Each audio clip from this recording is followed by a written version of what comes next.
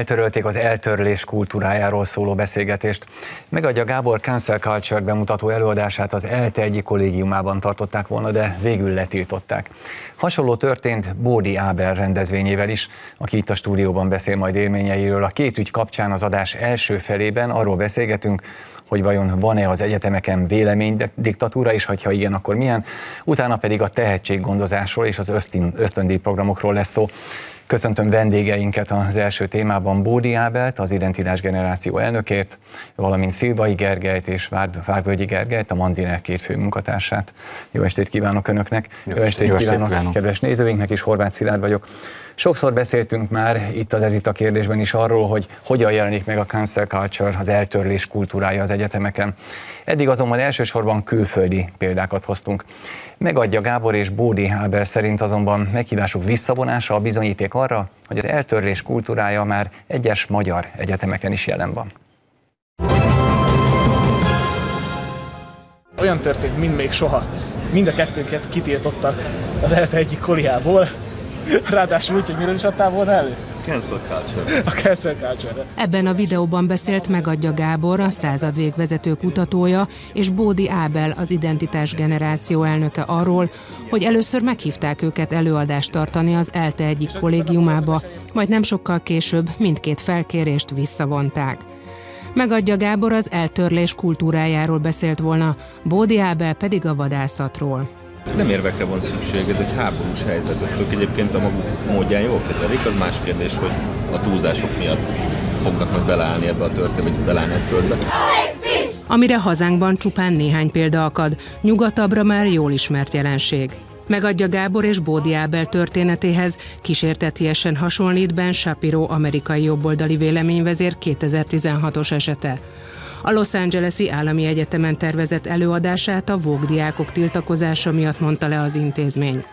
Shapiro végül mégis megtartotta beszédét, az eseményt azonban a rendőrségnek kellett biztosítania. Több esetben öltött már erőszakos formát a baloldali tiltakozás a kampuszokon. Donald Trump, korábbi amerikai elnök még az egyetemek szövetségi forrásainak megvonását is kilátásba helyezte, ha nem biztosítanak nézőpont semleges tervet a szabad véleménynyilvánításra, miután a Berkeley Egyetemen tetlegesen bántalmaztak egy konzervatív aktivistát. Az egyik előadás ugye kifejezetten politikai jellegű előadás lett volna, az eltörlés kultúrájáról szólt volna, a másik viszont a vadászatról, ez volt Bódi Ábel előadása. És azért kíváncsi vagyok arra persze, hogy mi a közös a két előadásban, és egyben arra is, hogy volt-e lehetőségük az előadóknak, a letiltott előadóknak, hogy megvédhessék magukat. Szóval mi a közös a két előadásban először is? Hát talán az, hogy a személyünk miatt tiltották le mind a kettőt, és nagyon örülök a Ben Shapiro-s bejátszásnak, mert 2016-ról volt szó, és akkor még, hogyha valaki azt mondja, hogy egyszer ez fog megtörténni Budapesten, esetben is, hát akkor talán nevetünk rajta, hogy ugyanaz ide nem fog begyűrűzni, és hát lám itt vagyunk 20 De a személyek végén. miatt ez mit jelent? Tehát az ön személye, vagy éppen megadja Gábor személye, miért problémás önök szabad magyar állampolgárok, akik kifejezhetik Magyarországon a véleményüket? Hát az a baj, hogy van véleményünk, és az nem feltétlenül egyezik azokéval, akik akik ezt az előadást végül nem engedélyezték, és ugye ez volt itt a legnagyobb probléma. Ugye megadja Gáborét már előtte, ahogy az előadásból egyáltalán kihirdették volna az időpontját, már akkor nem engedélyezték, tehát kifejezetten ezt így írták egy e-mailben, hogy betiltják. Az enyémet pedig azután, miután egy-két diák... Ezt a szót használták? Igen. Oh. Az enyémet pedig azután, miután elég nagy botrány lett a kollégiumban, mivel pár diák olyan plakátokat tett ki, amik mindenféle rágalmakkal illettek engem, mindenféle egyébként már megcáfolt hazugságokkal, és hogy én egy szélsőjobboldali fasiszta. Nem ismételjük a hazugságokat. Így van, így, így Úgyhogy azt hagyjuk, de Persze. hogy a hazugságok ellen lehet -e védekezni, tehát hogy kitesznek egy plakátot, mondjuk kikerül egy ellenplakát, de hogy, hogy lehet-e védekezni mondjuk az előadás szervezői előtt, hogy bocsánat, én nem vagyok az, itt vannak a dokumentumok. Nem lehetett, meg sem várták, hogy ebből bármi lesz. Ők úgy voltak fel, hogy ha már itt botrány botrány lett, akkor inkább elébe mennek a dolognak, és meg sem várják, hogy esetleg olyan történjen, mint Ben Shapiro előadásán, hanem már. Mi volt a szó, amire Szilvai Gerge úgy rácsapott az előbb?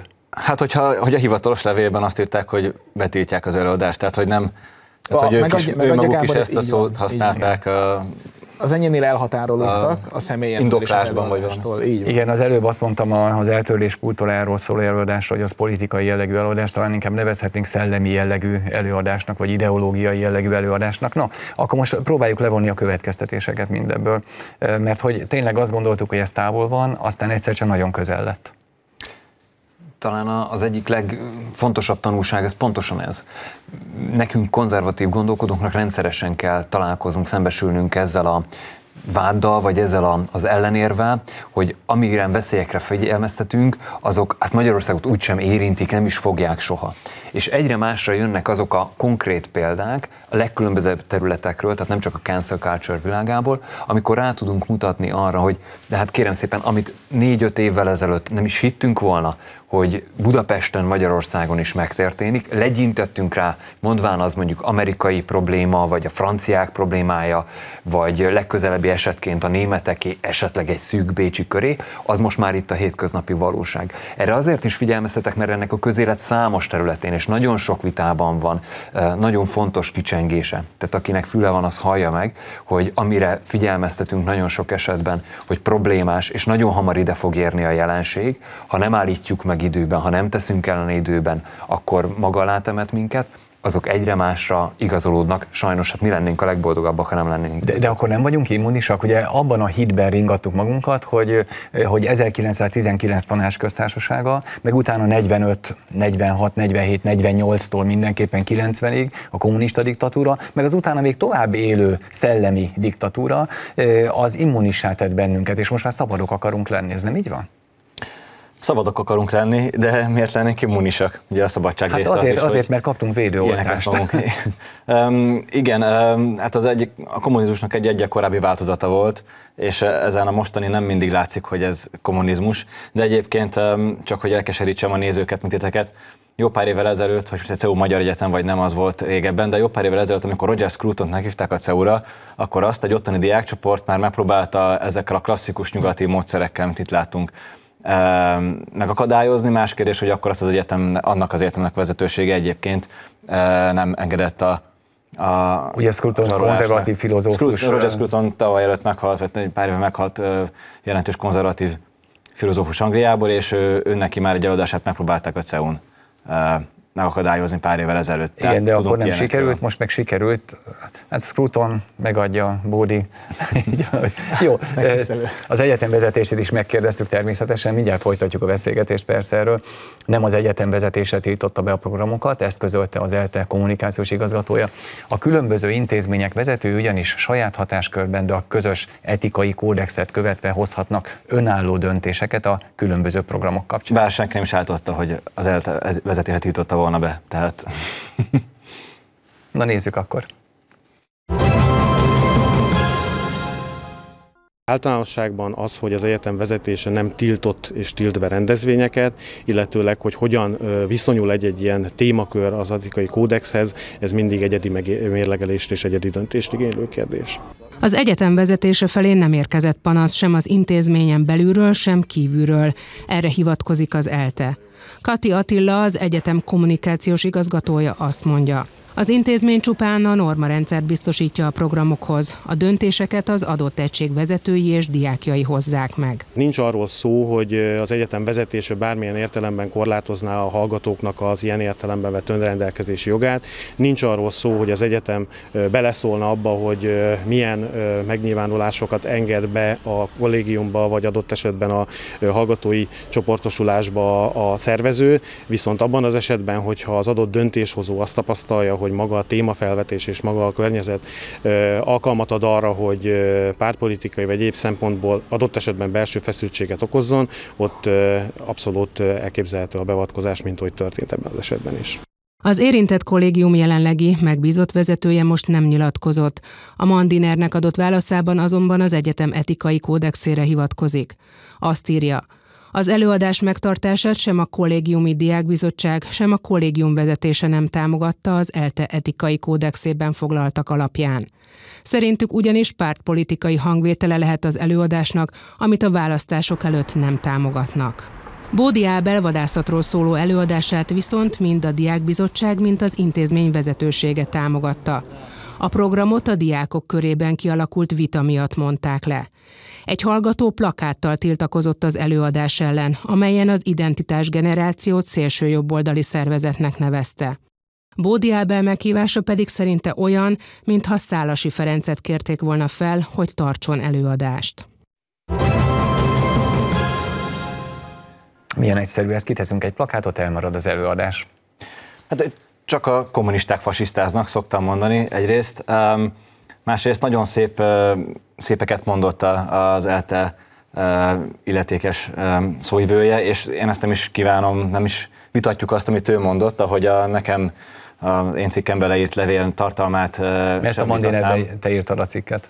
Igen, ez én voltam, uh-huh. illetve hát összefoglaltam a levelet, mert megkérdeztem ugye az eltét, hogy mi a reakciójuk Bódi Ábel is megadja állításaira, hogy mindkét féle fel legyen vonultatva. A probléma az, hogy, hogy ez elbeszélés a probléma mellett, tehát valójában nem reagáltak arra, ami, ami a kérdés maga, hiszen senki nem állította, hogy az eltevezetése tiltott volna be bármilyen előadást, nem ez volt az alapvető kérdés, és érdekes volt egyébként, hogy az első választ én még a, a, ezek szerint most már megnevezett kollégium, az Ottosi Dürer sori kollégium vezetőjétől kaptam, vagy az egyik vezetőjétől, utána viszont már az ELTE kommunikációs igazgatósága reagált a következő levelemre, tehát a központi kommunikációs igazgatósághoz vonták, mint egy válságkommunikáció gyanánt a, az egész az egész ügyet. Nekem nagyon fura ez a mellébeszélés, amit a, az ELTE művel ez ügyben, és szerintem valójában arról van szó, ugye egy, ők a megadja előadásáról beszéltek itt, amit tényleg csirájában nem engedélyezett a bizottság, vagy most hogy mondjam, de Ábelét például azt először engedélyezték, és utána az én tudomásom szerint egy, egy kis zsaroló diák közösség, vagy diákcsoport volt az, aki, akinek engedve levették a napi rendről ezt a Jó, akkor itt két dologról kell beszélnünk. Az egyik, amiről beszélnünk kell, az az, hogy az eltörlés kultúrájáról szóló előadás az mennyire politikai, és mennyire szól a 2022-es választásokról, és mennyire szól arról a szellemiségről, ami nem szabadna, hogy eluralkodjon, hogy eltörlünk előadásokat, és eltöröljük a, a, a szellemi jellegű ö, beszélgetéseket. És a másik, amiről beszélünk kell, az az, hogy a kisebbségnek lehet-e diktatúrája a többség fölött. Akkor először az egyikről, az elsőről nem kívánok az előadó nevében nyilatkozni, én magam úgy látom, hogy tehát teljes mértékben az alapokkal van probléma. Tehát, hogyha ha olyan jelenségekről, amik a, egy egyetemi közegben nem lehet beszélni, amik a világ számos egyetemén napi probléma szintjén jelentkeznek, akkor az a struc politika legrosszabb formája. Világítsuk meg a, a nézők számára, hogy az eltörlés kultúrája az mit jelent, tehát, tehát mi az a probléma, amiről beszélnünk kell? Az eltörlés, tehát az én értelmezésemben egyébként a cancel culture az, az egy nagyon széles értelmezési spektrum, nagyon sok mindent próbál a vók mozgalom, ez a felébredettek, nagyon-nagyon progresszívek mozgalma, most már nem csak a tengeren túlon, hanem itt Európában is, kiradírozni, akár a történelemből, akár a jelen diskurzusokból, olyan dolgokat, amik egyszerűen az ő sokszor neomarxista narratívájukba nem illik bele. Ez a politika, politikai korrektségnek egy, hogy mondjam, továbbfejlesztett Ez 21. már, századi igen, igen, vagy még, még, még jobban eldurvult változata. Tehát én azt gondolom, baloldaliak. Abszolút mértékben. De 2021-ben szállasit emlegetni egy, egy vadászatról szóló szakmai előadással kapcsolatban pusztán azért, mert valaki mondjuk az előadó személyével teljesen más aspektusban, politikai aspektusban vitákat folytat, nem ért egyet. Egyrészt ez nagyon-nagyon nevetséges, és kár, hogy erről beszélnünk kell, de nagyon jó, hogy beszélünk róla, mert mielőtt elharapódzik ez a jelenség itt Magyarországon is, azért ezeket jó egy kicsit visszametszegetni. Én az eltén végeztem, noha nem ezen a karon, hanem egy másik karon, de az ELTE egykori hallgatójaként is kényelmetlenül érzem magam, hogy most a, a, az alma máterem ilyen hírekkel kerül be a sajtóba. Ez rendkívül kínos. Ez nem egy egyetemhez méltó téma. Mert hogy az egyetem a szabadság és a szabad véleményt közvetések terepe jó esetben, mert abból lesz tudás. már tesz liberál lesz, ugye hét szabad művészet a középkor felfogása szerint. Ugye, ami, ami miatt, és ezt szeretném még egyszer hangsúlyozni, ami miatt érdekes, meg ami miatt fontos erről beszélni, és ami miatt mi sem hagyjuk a témát elmenni magunk mellett a Mandinernél, a jövőben is szeretnénk vele foglalkozni, az az, hogy ez Amerikában rendszeres. És azok a diákcsoportok, akik ezt akár az eltén is valószínűleg megakadályozzák, azok ugyanazt az ideológiát, azt a szélső baloldali vók felébredett ideológiát vallják, amit Amerikában ezek a diákcsoportok. És ami csirájában megjelenik, az tovább tud nőni, tehát ezt a csírát ezt ki kell vágni. Igazából az a cenzúra, ami még meg se történt, tehát el se hangzott semmi, és már cenzúrázzák. Ugye talán a cancel culture itt érhető tette leginkább, ugye, hogy míg régen acélelvtársék azt cenzúrázták, ami már leírattatott, Ugye itt már el se kell hangozni, már elég egy feltételezés, egy ilyen predikció, hogy itt bármiféle politika lenne, hogy a tudományt, amit mondjuk vittem volna az előadásommal a vadgazdálkodásról, az mondjuk kapna egy politikai felhangot, vagy megadja Gábor egyfajta ilyen tényleg egy, ezt a, az egész cenzúra jelenséget és ezt a cancel culture jelenségbe vinne pártpolitikát, ezt el se kell hangoznia már ezeknek, ők már csirájában vágják Mert el. önnek az előadása az a vadgazdálkodás és Így a vadászatról szólt volna. Tényleg mosolyog az ember tulajdonképpen Le, az lehet, hogy sikerült volna kimutatni, hogy a vaddisznók hány százaléka szavaz jobboldali pártokra Magyarországon, ellentétben egy kisebbséggel, ami nem tudom, vók pártokra szavaz. Hát ez nagyon veszélyes, hogy természet nem ismer liberalizmust. Egyébként e- ilyen szempontból lehet, hogy de Jó, de önt, önt megtámadták, önt megtámadták személyesen. Így van. És, és a támadás, ugye hát most azért a sajtóban ez, ez azért kapott némi felhangot, de ez a támadás válaszolásra nyilván a sajtó már tud válaszolni. Ott helyben nem tudott válaszolni. Nem, meg sem várták. Én örültem volna, hogyha az előadásom megtörténik, és akkor a végén odajönnek, vagy közben akár kérdéseket tesznek föl, vagy utána számon kérnek, hogy én vittem bele politikát. De nem, ez meg se történt. Engem a kollégium sem keresett meg, és ez nagyon jó volt a válaszukban, ez a felelősség tologatás, hogy akkor most hát nem az ELTE tiltotta be, meg nem is ők, meg, de azért azt kell tudni, hogy az előadásomnak volt egy eseménye, ami sajnos már töröltetett, de ott egyébként a szervezők arra hivatkozva mondták le az én előadásomat, hogy egyrészt elhatárolódott tőle a kollégium vezetősége, tehát ők nem merték felvállalni a konfliktus, és mivel ez egyre eszkalálódott, mint belső probléma, ezért mondták, hogy akkor ők inkább ebben nem mernek beleállni. Mert hogy az ön személye nem vállalható, így mert... Van, így van, mert azt mondta egy mert azt mondták, hogy plakát. Na jó, szóval akkor ezt nézzük meg alaposabban. Egyébként szerintem itt van egy olyan aspektus is, hogy számos olyan egyetemi professzor a Magyarországon, az eltén, máshol is, akik egyébként napi szinten pártpolitizálnak, publicisztikát írnak, és szerintem egyébként ezzel nincs is baj, de az eltének vannak olyan jogász professzorai, akik élen járnak abban, hogy az ellenzék számára legyártsák, a, ha sikerül kormányt váltani, akkor hogy lehet kimagyarázni, hogy, hogy mondjuk feles többséggel felülírnak kétharmados törvényeket, meg alkotmányt. De hát ki kell hát tenni ott... egy plakátot, hogy az adott tanár politizál,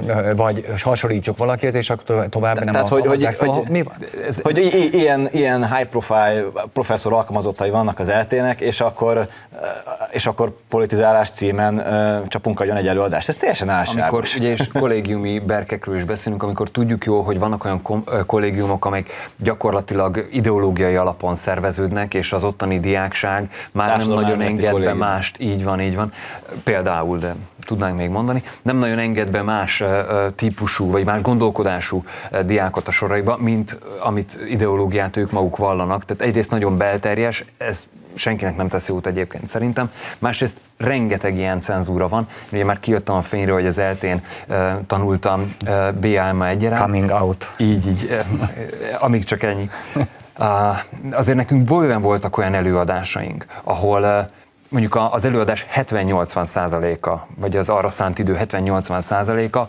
masszív politizálás volt, de baj annak volt? A, a legdurvább pártpolitikai értelmében. Baj volt? Hogy baj volt ez? Igen.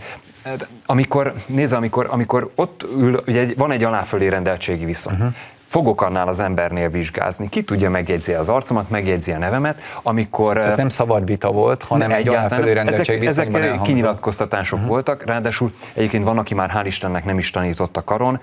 Olyan, olyan trágár stílusban a baloldal által egyébként piedesztára emelt jogász professzortól olyan trágár stílusban kellett meghallgatnunk, hogy aki jobboldali pártra szavaz, az körülbelül milyen értéket képvisel az ő szemében, hogy az, egy, az szerintem egyáltalán nem egészséges minimum felháborító. De önök tiltakoztak egyébként akkor ellene? Tehát volt-e ilyen, mint ami most ugye nagyon gyorsan még el se az előadás, már ott van a plakát? Mi nem plakátoltuk, nem plakátoltak. A, nem plakátoltuk uh-huh. tele a kard, de hát nyilván azért többek között a, a hallgató önkormányzat arra való, hogy ezeket uh, akár anonim módon és a, a, a vizsgáredményt előre is védve vissza lehessen csatornázni Na jó, de vezetésének. Nem, történtek azért, uh, olykor még korrekciók is történtek, tehát kaptunk pozitív visszajelzést jó, is. Akkor azt a kérdést ne tegyük fel, hogy, hogy melyik oldal a türelmes türelmesebb a baloldali hallgató vagy a jobboldali hallgató?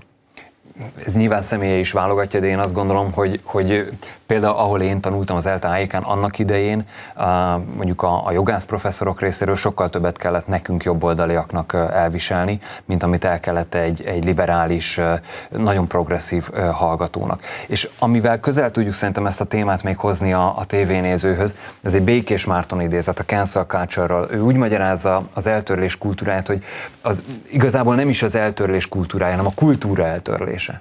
És ez már ugye érinti a, a kedves néző mindennapi életvitelét. Azt a kultúrát, amiben a, a, mi Közép-Európában élünk, azt a, azt a, azokat a gyökereket, amik termékenyé tették Közép-Európa kultúráját, azokat akarják elvenni tőlünk. Ez a hétköznapi életünkre ugyanúgy vonatkozik, mint elefántcsont tornyokban lezajló tudományos vitákra. Tudunk pontosítani, például a kokáért ugye ma már nyugaton sokszor az probléma, ha bárki mondjuk Csókai doktor úrtól nagyon sok ilyen tanúságtételt hallhattunk, ha egy orvos konferencián azt meri mondani, hogy ő imában kap inspirációt arra, hogy egy orvosi problémát hogyan oldjon meg gyakorló professzorként, orvosként. Ez óriási probléma. Nem erről szól Mark Bizének az egydimenziós embere? Valami hasonló? Részint igen, de van itt még pár jó példa szerintem. Ha mondjuk a statisztikát nézzük Amerikáról, az amerikai egyetemekről, akkor azt látjuk, hogy a társadalom és bölcsészettudományi karokon, mert hogy ezekről beszélünk, ugye, a közgazdaságtanban ott még egész sok jobboldali konzervatív professzor van, de mondjuk a pszichológia és a szociológiában 1-2 százaléknyi. És nagyon nagy irodalma van annak, erről írtunk még korábban a Mandinál egyébként, hogy hogy hogy szorítják ki a konzervatív professzorok az egyetemekről. Valójában úgy nyilatkoznak egyetemi professzorok ilyen kötetek szerzőinek, hogy elvonulnak egy egy távoli parkba, ott figyeli, hogy, hogy jön-e valaki vagy nem. Tehát teljesen ilyen konspiratív jelleggel beszélnek, most függetlenül attól, hogy ez az érzés vagy a valóság, de ez a benyomásuk nekik, és valószínűleg a valóság is ez közelít. Magyarországon nincsenek ennyire rossz arányok, de Magyarországon is e felé tart a társadalomtudományos világ. Meg kell nézni, hány Marx idézete van az MTA társadalomtudományi intézeté alkalmazottainak, stb. És ha gyakorlati példákat szeretnénk, akkor mondjuk ott van ugye a British Airways, ami, ami nemrég bejelentette, hogy hölgyeim és uraim helyett nem tudom, kedves utasok, vagy valamilyen tiszteltutatási megszólítást fog alkalmazni, vagy ott van az az amerikai és nyugat-európai jelenség, hogy, hogy magukat fiúknak képzelő lányok, kamaszlányok tömkelegét nem lehet afelé terelni, hogy elfogadja a saját testét, hanem az orvosok és a, a pszichológusok is kötelezően a, a, a, nem a, a testátalakításos műtét felé kell tereljék őket, mert ha nem, akkor mondjuk 19 amerikai tagállamban bebörtönzik őket, és hasonlók. Tehát, hát hogy ezek elég gyakorlati példák, még ha nem is Magyarországról, de, de közeleg ez a de, de, de félig meddig Magyarországról, és nekem most a hétvégéről volt egy példám, volt itt egy konferencia, szintén nyugat-európai meg amerikai kutatók voltak, homoszexuális, homoszexualitással kapcsolatos kutatásokat osztottak meg egymással, titokban tartották még a helyszínt is, hogy hol fognak összegyűlni, hogy nehogy mondjuk rajtuk üssenek. Szóval egészen elképesztő. Lehet-e így szabad a tudományos világ? Ezt mondjuk ezt a kérdést azért érdemes feltennünk. Hát nem gondolnám. Tehát egyrészt az, hogy az ő taktikáik egy kicsit visszakanyarodva a diktatúrára, hogy mindig kisebbségnek van diktatúrája. Na Na már most, és ráadásul az akar diktálni, aki nem feltétlenül tudja megvédeni a saját igazát. Most innentől kezdve ugye begyűrűzik a cenzúra, és már a cancel culture féle cenzúra, hiszen hogyha tudományra terelnénk akár például a homoszexualitás kérdését, nehezen lehetne vele vitatkozni. Tudom, és erre talán Szerintem most ezt ennyi Persze ebben ebbe nem menjünk bele, de, de a tudomány átpolitizálása az mindig hatalmi érdek. Jó, de ez cenzúra, és aztán az utána következő lépcsőfog az az öncenzúra? Ugye tudok még egy amerikai példát mondani, igen. Ugye az amerikai pszichiátriai társaságnak volt azt hiszem egy professzor, aki nemrég valamelyik levelező listára, ebből hírek voltak, megírta, hogy ő szerint azért csak-csak két biológia nem létezik, és hogy ez, ez, ezt azért lehet bizonyítani tudományosan, hiszen ez egyel foglalkozó professzor volt az illető, és ezután őt eltávolították a levelistáról, azt hiszem, de hogy így elég durva cancel culture tömeg lépett fel ő ellene, és emiatt aztán, ha elolvassuk ezzel kapcsolatos szakirodalmat, azt látjuk, hogy és nyilatkozzák egyetemi professzorok ott is, de egyébként itthon is van erre példa, és szeretnénk mi a Mandiner erről többet írni majd a jövőben, keressük a lehetőségeit, hogy öncenzúrá jelleggel dolgoznak professzorok, tehát addig, amíg nincs meg a professzori kinevezése, nem írja le, hogy ő konzervatív, nem olyan témát kutat, nem is kapna olyan ilyen konzervatívok által kutatott téma, nem is kapna kutatási pénzt, tehát ez, ez tudománypolitikai kérdés, hogy hogy mi az, amit mely, milyen ideológiai elkötelezettségű ember kutat jobban, gyakrabban arra, kiad pénzt, mennyit. Ezt meglátják az egyetemen, akkor, akkor ha nem is ugják ki, de, de lehet, hogy nem fogják idézni. Fogják, tehát igen. nagyon sok ilyen, a tudományban nagyon sok ilyen finom módszer van arra, hogy, hogy valaki körül elszívjuk a levegőt. Nagyon, nagyon érdekes ez a helyzet, mert miközben azt gondoltuk a rendszerváltoztatáskor, hogy majd el kell takarítanunk a kommunizmus maradványait, és ez biztos, hogy jó ideig eltart. 10-20 évig, 30 évig elbíbelődünk vele, gondoltuk akkor, illetve nem, akkor azt gondoltuk, hogy kevesebb idő kell, de aztán később azt gondoltuk, hogy lesz ez 30 év is. És aztán egyszer csak itt van egy új, még ne sem takarítottuk a maradványokat, itt vannak még a szellemi maradványai bőven, és jön be nyugatról ez az új baloldali, már nem maradvány, hanem kezdeményezés hova jutott eddig ez a magyar egyetemeken, egyetemi világban? Tehát most két esetről beszélünk, ez az eltén történt meg Budapesten. A többi budapesti egyetemen, vidéken vannak-e ilyen jelek? Szegedről hallottunk, Szegedről hallottunk egyébként egyre több ö, olyan információt, mely szerint ott olyan oktatók, akik egyébként mondjuk ö, dialektikus materializmus tanítottak a szocializmus alatt, amikor ugye eljött a rendszerváltozás, akkor csak át szabták a saját tanszéküket, a saját ö, egy új névtáblát tettek ki, és akkor ezzel gyakorlatilag folyamatosan ott maradtak, és mérgezték a diákságot. Tehát én azt mondom, hogy a forradalom örök, és ez nem jutottak sokkal tovább, hanem folyamatosan ott vannak, folyamatosan fenntartották ezt, és nevelik ki az újabb generációkat, az újabb baloldali politikusi generációkat, amelyeket egyébként láthatunk már a legprogresszívebb pártok színeiben is. Schmidt Máriának, a Terrorháza Múzeum főigazgatójának volt egy nagyon érdekes beszéde a közelmúltban a Szent István Intézet konferenciáján. Ő azt mondta akkor, hogy amíg mi itt Közép-Európában megbuktattuk a kommunizmus, nyugaton szépen csöndben győzelemre jutott, diadalt aratott. A kultúrában. És most főként. próbál, így a tudományban, a kultúrában, tehát olyan területeken, amire nem figyelt kellően a, a konzervatív középosztály és a konzervatív elit, talán mond, fogalmazhatunk így, és most természetesen próbál ide visszajönni, hiszen totális háborút hirdet, totális forradalmat hirdet, és totális győzelemre tör. Tehát tőlünk néhány országra már győzött 10-20 éve, vagy éppen ezekben a napokban jut győzelemre. Nem feltétlen pártpolitikai aspektus ez, tehát nem lehet azzal érvelni, hogy no de hát nézzük meg, mely országukban van hatalmon névleg jobboldali kormány. Ez így van, búvópatakokként is tud működni, és most szeretne visszajönni ide Közép-Európába. Ehhez természetesen azért eh, nekünk is lesz pár szavunk. Hát lesz pár szavunk, de ugye amikor az immunitásról beszéltem, akkor valójában az iránt is érdeklődtem, hogy mit tudunk tenni. Mert hogyha nem vagyunk immunisak teljesen, de azért mégis valamennyire azok vagyunk, én abban reménykedem, eh, akkor még mégiscsak valamit tenni kell. Mondjuk a Mandiner ír róla, de mondjuk társadalmi szinten mit lehet tenni? Hát egyébként ugye van, jön ide egy vendégprofesszor Amerikából, Peter Bagassian, aki úgy szintén az eltörés kultúra áldozata lett, ráadásul az eltörés kultúrát mondjuk így, hogy, hogy kikarikírozó tanulmányait, tanulmánya megentítése miatt rúgták ki az egyeteméről. Hogyan Tehát, ezt mondjuk el? Ez egy Gravians botrány nevű eset volt.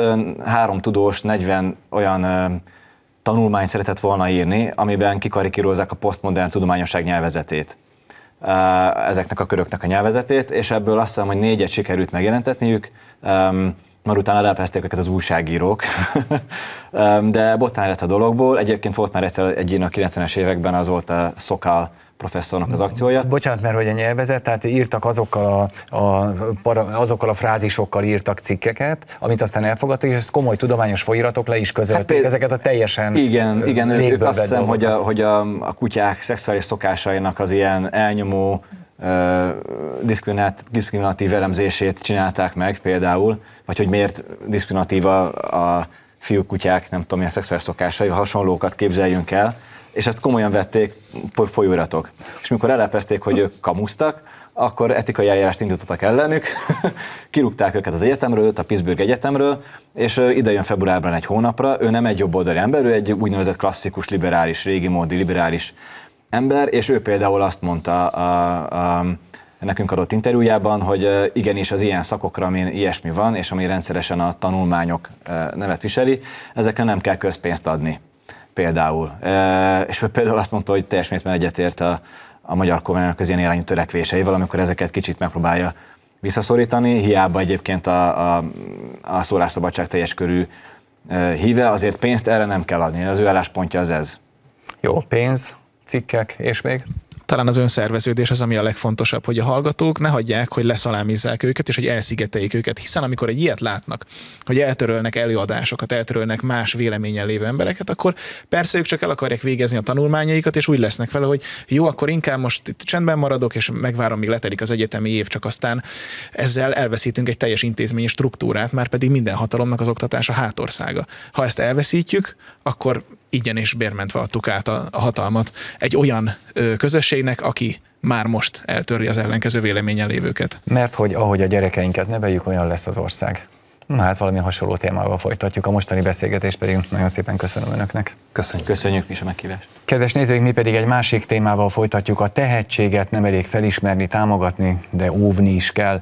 Ebben olyan szervezetek nyújtanak segítséget, amelyeknek célja, hogy, a szak, hogy szakmailag támogassák a magyar tehetséggondozás fejlődését. Most nézzünk meg egy összeállítást a témában, majd szakértő vendégeinkkel folytatjuk a beszélgetést.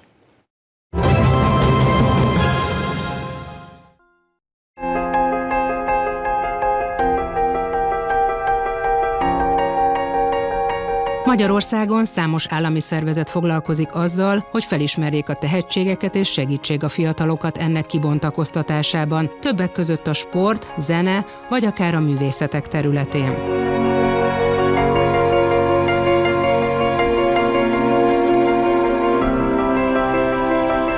Különböző tehetségtámogató programoknak köszönhetően a világ legjobb egyetemein tanulhatnak állami ösztöndíjjal diákok, vagy olyan mentorprogramokban vehetnek részt, amelyekben nem csak szakmai gondviselést, hanem lelki támogatást is kaphatnak mestereiktől.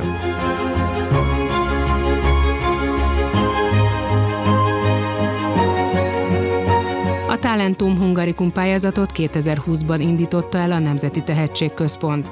A program fiatal zenei tehetségeknek nyújt szakmai támogatást olyan produkciók összeállításához, amelyek a nemzetközi porondon is megállják a helyüket. Tehát a tehetségről beszélünk, mert egy országnak a sorsa nyilván nagy mértékben függ attól, hogy a tehetségeit miként kezeli, hiszen ez az ország jövője lehet. Köszöntöm a stúdióban vendégeinket, Uzsaliné Pécsi Ritát, neveléskutatót, Bajor Pétert, a Magyar Tehetség Segítő Szervezetek Szövetségének elnökét, és Bekes Sonfai Tamás, az Ötvös Lórend Kutatási Hálózat Természettudományi Kutatóközpont csoportvezető kutatóját. Jó estét kívánok mindhármuknak! Hát, hogy összekössük az előző témánkkal, szóval a tehetség nőhet-e szabadság nélkül? Én azt gondolom, hogy nem. Bizonyos mennyiségű szabadságot, főleg a tehetség kibontakozásának a, a legelején muszáj hogy kapjon az, az egyén, különben nem találja meg azt, amiben ő kiforni fog később, ezt gondolom. És ezt a szabadságot hogy lehet megadni neki mondjuk iskolában? Mert, mert azért az általános iskola az nem feltétlenül a szabadságáról, netán szabadosságáról híres, hanem arról, hogy bizonyos keretek között növekszenek a gyerekek, és talán középiskolában már egy kicsit több lehetőség juthat a növekedésre, de ugye írás-olvasás, szóval az azért, ha még nem egyforma, majd egyforma lesz.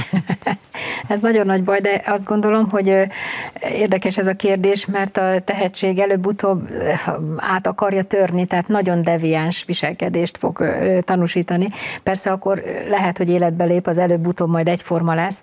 Tehát azt látjuk, hogy, hogy nevelésben, tehát, tehát emberi szabadságot, tehát gondolkodásbeli szabadságot, kérdezésnek a szabadsága kellene, hogy fellépjen, tehát megoldásoknak a sokféleségének a szabadsága. Azért ezt meg lehet az írás-olvasás számolásban is valósítani, de nagyon fontos lenne, hogy többféle módszer kapjon helyet az iskolában, és a személyes kísérés. Tehát mindenképpen a személyes odafigyelés. Múltkor én egy olyan cikket olvastam, amelyben azt taglalták, hogy, a, hogy az a gyerek, akinek nagyon jó humora van, arra figyeljünk, mert az biztosan tehetséges. Ez így van, hogy a humor az a tehetségnek egy jele? Egyik biztos. Milyen tehetsége? hát a divergens gondolkodás, és az uh-huh. még azért sok fele kiágazhat, tehát akár a divergens gondolkodás, akár az érzékeny probléma felfogás, akár egy másik oldalról való megnyílás, tehát egy másik, másik Fonákját látni, é, abszolút. Ugye? Fonákját, másik oldalát, egy másik megoldást, egy, egy, egy, egy érdekes jelenségnek az észrevételét, tehát humor nagyon-nagyon értékes tulajdonság. Hát megint azt látjuk, hogy nagyon kevés helye van az iskolákban. És mi az az időpont, amikor azt tudjuk mondani, hogy egy általános iskolában már nagyon figyelnünk kell, hogy, hogy miben lehet tehetséges az a gyerek rögtön, amikor bekerül már elsőben, vagy azért ez az ötödik, hatodik osztály? Nem, legalább az ötödik, hatodik, és inkább később, de addig sem, eh, tehát azért azt nem összejelenti, hogy ne törődjünk vele, hanem a széles paletta, tehát a, a megkínálás, a kíváncsiságnak a, a fenntartása, az érdeklődés fenntartása, tehát a különböző lehetőségeknek az ilyen megcsillantása, amiben egy kicsit úgy részt vehet, de nem szabad rányomni rögtön. Tehát, hogyha azt látjuk, hogy fú, mert ez most milyen ügyesen énekel, akkor puf neki, tagozat, művészeti iskola, vagy bármi. Na de a művészet az általában nem rossz, nem, mert a, a tehetség nagyon jó. előhívására az nagyon jó a, nem tudom, Einstein hegedül, csak ugye. Igen, azt mondom, de, de nem, nem annak, a, tehát semmiképpen nem arra, hogy akkor legyen hegedűs. Igen. Tehát a, a művészettel való megkínálása, a, az együtt gondolkat, tehát sokféle, inkább széles, széles palettát fenntartani, és, és sokféle lehetőségbe benne hagyni az általános iskolást, ez lenne a, ez lenne a cél, tehát a túl korai specializálódás semmiképpen nem Igen. segíti a tehetséget. Frany Tamástól olvastam egyszer egy, egy cikket, hogy most a Magyar Tudományos Akadémia elnöke, agykutató, és ő azt mondta, hogy tulajdonképpen 18 éves korig sok-sok művészet, sok-sok művészet, mert az a segíti a szabad Nagyon kapcsolatokat segít. az agyban, és, és, és segíti azt, hogy sokféleképpen láthassunk valamit. Abszolút a jobb és a bal agyféltekének a nagyon nagyszerű együttműködése. Éppen mm. Frany Tamásnál lehet látni, hogy például írja egy ilyen, talán egy ilyen önéletrajzi írásában, hogy középiskolában szinte nem csináltam mást, mint klarinétoztam, és hát ugye mi lett belőle, és utána fel is merült benne, hogy ugye klarinétos legyen-e, vagy kutató, és akkor rájött, hogy ha, ha klarinétos lesz, nem tud kutatni, de ha kutató lesz, tud mellette klarinétozni, szóval így ment a kutató Igen, jó jártunk mindannyian. No hát akkor nézzük meg, hogy mi a tehetség. Mindenképpen szabadságra vágyik a tehetség, hadd kapcsolódjak én is ehhez. Egy átlagon fel, átlag feletti általános intelligencia, valamilyen speciális, mi úgy mondjuk tehetségterületen az átlagosat meghaladó képességek, kreativitás és egyfajta belső elköteleződés, hajtóerő, ezeket szokták a legfőbb jellemzőinek mondani, amikor tehetségről beszélünk, de nincsenek éles határvonalak, hiszen annyi e, a tehetség terület, és annyi a tehetség, ahányan vagyunk, ahány fiatal, hiszen mindannyiunkban egy teljesen sajátos és egyedi tehetség konstelláció van jelen. Minden mi a Matehecnél mindenképpen azt hangsúlyozzuk, hogy érjék impulzusok a diákot, a, akár óvodáskortól kezdve, kezdve. Ez egyébként a szülőknek is alapvető feladata, meg a pedagógusoknak is, hogy minél több területét a világnak hozzák oda a gyerek és akkor amelyiknél fölcsillan a szeme, ahol még kérdező hármat, ahol ott marad még délután valamilyen plusz feladat erejéig, na az a terület lehet, hogy az ő képességeiről árulkodik. Mert ha nem ezt tesszük, ha mondjuk azt mondjuk egy, van ilyen példám, azért hozom ezt egy 7 éves kisgyereknek mondjuk azt mondjuk, hogy fú, milyenról futsz te nagyszerű futó leszel majd, és onnan kezdve futóedzés, futóedzés, futóedzés, végül egy középszintű triatlonos lett belőle. Szóval ez, ez nem ez az igazán jó, mert, mert, mert nagyon korán specializáltuk egy dologra? Igen, ugye ez egy nehéz dolog, hogy elismerjük a, a gyerekünket is, meg a tanítványunkat abban, amiben ügyes, de azért ne bélyegezzük meg, ne állítsuk egy olyan útra, ami esetleg neki nem feltétlenül a kibontakozást fogja jelenteni, mert egyébként lehet, hogy ügyes, jó futó, de, mm, de egyébként más sokkal jobb jobban érdekli. Azt szoktuk mondani a szülőknek is, hogy ne legyen a gyerek együgyű. Tehát nyugodtan foglalkozzon, nyugodtan zenével, művészetekkel, tudományokkal, és ezt a, a híres, befutott, mondjuk úgy sikeres emberek élettörténeténél is látjuk, hogy nagy varga betűk vannak a, az életrajzukban, de az a fajta el, elhivatottság, az az elköteleződés, a gondolkodásnak, a probléma megoldásnak a magas szintű képessége, ez az, ami őket mégis megkülönbözteti a többiektől. Én Bekesonfai Tamást kérdezném meg, hogy hogy lett kutató. Ugye azért el kell mondanunk azt, mondja azon, hogy nekem ideíró, hogy 7 évig dolgozott Svédországban, a kémiai Nobel-díj bizottság elnökének kutatólaborjában. Hát ez is, ez is egy tehetséggondozás, hogy oda ki tudott menni. Hát meg szerencse is azért, tehát hogy ezt, ezt hozzá kell tenni. És akkor a, a Varga betűhöz csak egy mondat, hogy egy kicsit átkötés, hogy nagyon nehéz megfogni azt, hogy egy tehetségnek milyen lesz az életíve, a kutatói, vagy a akármilyen karrier ö, ö, pályaíve. Ö, könnyen előfordulhat, hogy nyílegyenes. És, Ön az volt? Nem, nem igazán, de, de látunk arra is példát, hogy valaki az édesapjától egy adott szakmában, birkózásban például, már rögtön a gyerekkorától elkezdve nagyon tehetséges lesz, és végig is viszi ezt. Én viszonylag korán éreztem meg, elsősorban az édesapámnak a, az életpályáján, akadémiai életpályáján látva, hogy, hogy én kutató szeretnék lenni, tehát ebből a szempontból többé-kevésbé egyenes volt, de természetesen, ahogy az előbb is beszéltünk erről, azért ez egyetemig szinte nem tölt el, hogy, hogy milyen irány, merre szeretnék menni. Hadd tegyem hozzá, hogy itt ugye ez egy érdekes vitához is elérkezünk, hogy a genetika vagy pedig szerzett e, e, szocializációs eh, tulajdonsága a tehetség. Én azt gondolom, hogy is is, tehát a genetika az, egy, az ad egy nagy kognitív vagy fizikai keretrendszert a, a, az életünkben, de azért nem mindegy, hogy mondjuk egy zenész családban pocaklakó korától kezdve éneklést, komoly zenét, zeneszerszámokon való játékot hall a gyerek, az nyilvánvalóan az ő szociális digitalizációs folyamatát alaposan meghatározza. Szóval, hogyha az általános iskolára visszatérünk, akkor legjobban mit tehetünk, hogy sokszínű palettát nyújtunk neki, sok művészetet, zenét, éneket, képzőművészetet Tudományt. és, és, és tudományterületeket is. Igen, és nagyon fontos az, hogy ez ne ilyen, hogy most elmész erre a szakkörre, meg erre, meg erre, meg erre, tehát viszonylag nagy szabadságban. Tehát azért, hogy amikor amihez hozzányúl... De a szakkör a szabadság, nem? Hát azt választja, és akkor Igen, oda igen, megy. csak akkor ne osszuk be óránként, hogy másikra, mert lehetséges, uh-huh. hogy abban egy kicsit elmélyülni, egy kicsit elgondolkozni, egy kicsit még forgatni benne, tehát erre kell egy kis idő, hogy úgy, szóval, hogy feldolgozza ezeket az élményeket, mert azért van a, a soknak egy nagy sokja is, tényleg azt lehet mondani, és, és nem ülepedik le, tehát nem, nem, nem tudja feldolgozni. Sok érdeklődő gyereket ezért túlterhelnek a Úgy szülei van. is, meg az iskola is. Ez nagyon nagy kár. Mert, mert igen, ugye alkalmazkodó, eh, jól kijön a tanáraival, a szüleivel, engedelmes, meg akar felelni, és akkor mindent, mindent vállal, de az akkor megint eh, Hát tévút igen. lehet, talán erre utalt. Múltkor volt egy ezzel kapcsolatos én személyes élményem, egy ördöglakatot kaptam eh, egy ismerősömtől, és eh, hát másfél órát küzdöttem, erre nem tudtam megcsinálni egyik nap. Eh, Letettem magam elé az asztalra, és másnap, amikor felvettem, akkor tulajdonképpen 12 Így van. másodpercen belül megoldottam. Nem történt közben semmi, nem foglalkoztam velem, leülepítettem. Ez a kutatónak is jó módszer lehet? A, szerintem van egy viszonylag jelentős intuitív része annak, amikor a konkrét előrelépés megtörténik, tehát amikor, amikor van egy probléma, amit az ember emészget.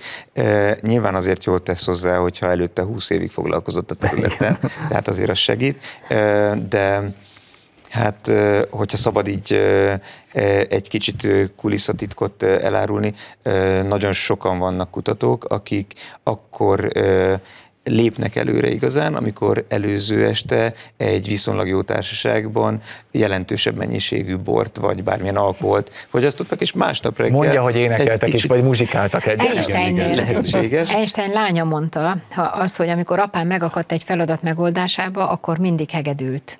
Tehát most eh, magának, és kell- nyilvánvaló, ki kell hogy ez egy másik, eh, másik, tev- másik jellegű idegrendszeri tevékenység nyilván. Jó, Ez a akkor fajta sokféleség, amit emlegettem, az alkoholt nem támogatjuk mi a Igen. Nemzeti Tehetségprogram oldaláról. Jó, rendben. No, akkor nézzük meg, volt Budapesten egy, egy konferencia, és ön előadást tartott a konferencián. Mi volt a legfontosabb, amit elmondott? És aztán ösztöndíj programokról, ilyenekről is beszélgessünk, meg a Fiatal Kutatók Akadémiájáról. Ez a, ez a Budapest Talent Summit volt, ami egy nagyszerű kezdeményezés néhány évvel ezelőtt indította el a kormány, és mi, mint civil oldal ebben szívesen részt veszünk. Hál' Istennek könnyű dolgom volt, mert a Matehec elmúlt 15 évét kellett bemutatni. Jó első érzéssel mondhattam el azt, hogy ma Magyarországon jelentős társadalmi bizalom veszi körül a tehetséggondozást. Talán a, a sok konkrét eredmény, persze 70 ezer gyereket segítettünk az elmúlt 10 évben.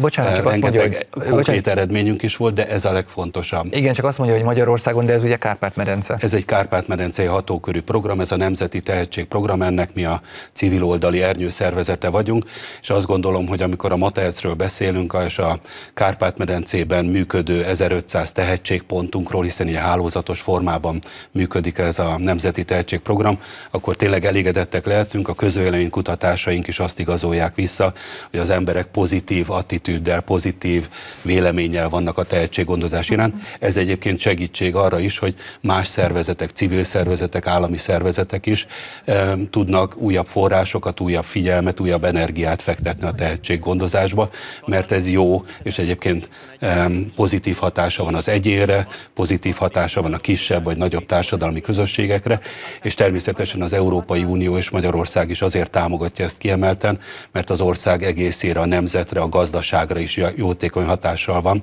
hiszen nem mindegy, hogy az a, a Magyarországon és a Kárpát-medencében lakó 15-20 százaléknyi fiatal, az valóban rátalál-e a saját tehetségterületére, és azon a területen valami az önmaga számára boldogságot jelentő, és a közösség számára pedig jelentős hasznot jelentő produktumot tud létrehozni. Akkor most Bekesonfai Tamás kell kérdezni, mert ugye dolgozott Svédországban, de most azért itthon van. Igen.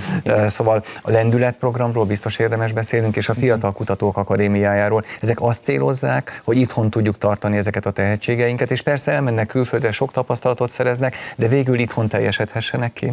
Uh, igen, illetve, illetve maga a lendület programnak az eredeti ötlete az visszavonzani azokat, akik esetleg külföldre mennek, akár tanulmányútra, akár hosszabb távra, és ilyen értelemben az itthontartás és a hazavonzás, ez a kettő, kettős célt szolgálta, és ezt viszonylag sikeresen teljesíti szerintem a mai napig is.